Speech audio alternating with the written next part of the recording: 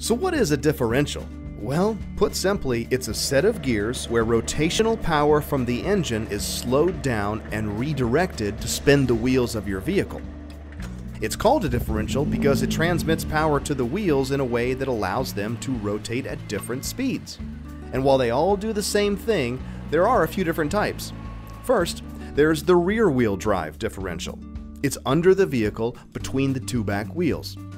Another type is the front wheel drive differential. These are typically integrated in the transmission housing and share the same fluid, so it'll usually be serviced with your transmission. You may also hear of limited slip differentials.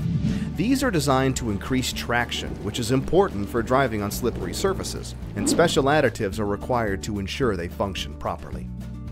With all of these, special oil lubricates the different gears that transfer power from the drive shaft to the wheel axles. Low or contaminated oil can cause metal to metal contact that wears down surfaces and creates heat from friction, which inevitably weakens the gears and leads to failure. Having your gear oil changed is just as important as changing your engine's oil. This removes the old broken down oil and any contaminants. On some vehicles, technicians can also inspect your differential for wear to detect early warning signs.